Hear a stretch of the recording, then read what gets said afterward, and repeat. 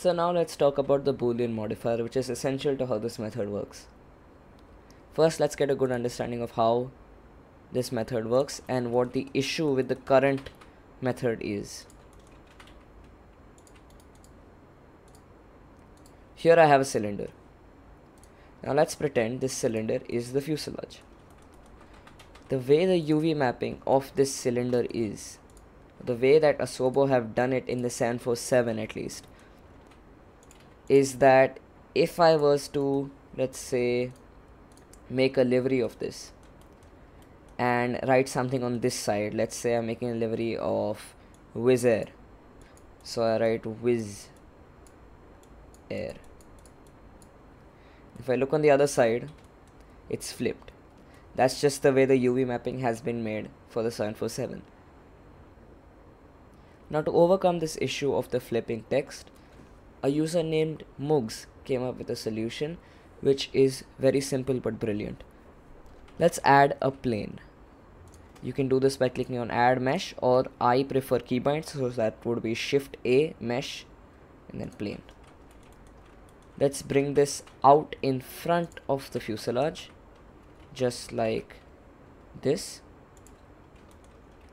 And let's position it next to the Air text and let's also match the height and positioning from this angle of the Wizz Air text. Something like that approximately. You'll now go into edit mode by pressing tab or going up here into edit mode. Take this plane and extrude it by pressing E all the way until it pops out of the other side. We can now go to the modifier menu, click on add modifier, click on boolean, intersect fast and here with this uh, eyedropper you select the object that is the fuselage or that is the object which the decal is being added to. So here it would be cylinder so as you can see, both of these edge parts which were protruding out now stick to the cylinder. Let us apply this modifier. Now as you can see in X-ray mode in X-ray mode and edit mode, there are faces that are sticking to the cylinder on each side and there's also like four faces in the middle which we can then get rid of.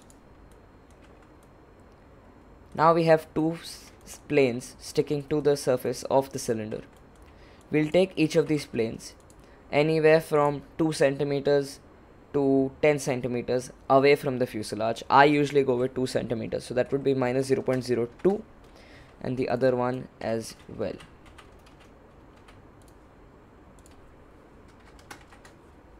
So for demonstration purposes here, let's pretend that this cylinder is the fuselage. So we have now two planes that are curved with the fuselage that are sticking 2 centimeters away from the fuselage on each side. Now using some blender magic which I will explain later when we actually get to the plane itself we will add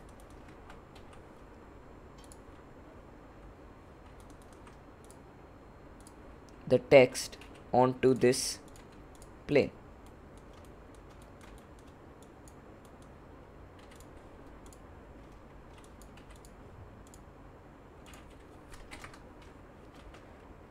and using some more magic I've made it so that on each side the text is straight.